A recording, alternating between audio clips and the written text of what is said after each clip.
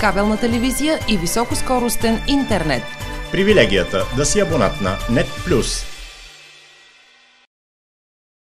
Подготовка за отбелязване на достолепна 70 годишнина на Народно читалище Яне Сандански, село Коларово. Секретарият Евгений Гоцков, който е и скулптор, ще дари на културната институция за юбилея изработена плоча с релеф на патрона Яне Сандански. Самата работа по нея и старанието ви показвахме още преди няколко месеца в работилницата на Гоцков. Юбилей е нали, достолепен.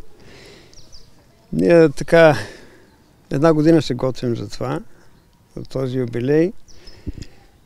Юбилея ще бъде почетен с един концерт от нашите самодейци, женската певческа група, танцовия състав. И поканили сме и мъжка група от Мари Костело, като да има малко разнообразие. А за финал на концерта ще пее Иван Дяков.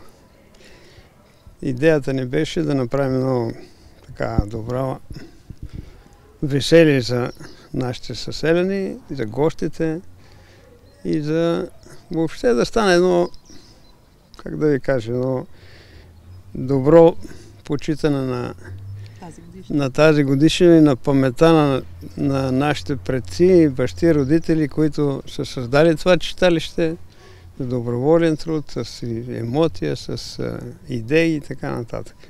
Господин Коцков, преди време, когато разговаряхме с вас, вие като скулптор бяхте започнали работа върху една специална плоча, която да бъде дарена тук на читалището точно за тази годишнина. Ще се случи ли това?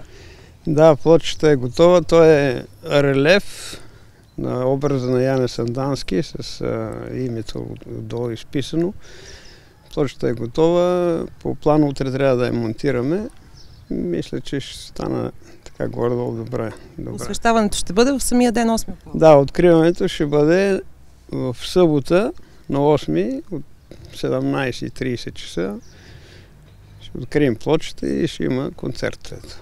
Самодейците към Народно читалище Яне Сандански село Коларово нееднократно са били носители през годините до сега на почетни отличия и награди в областта на фолклора. Читалището в селото пази духовната история на няколко поколения жители.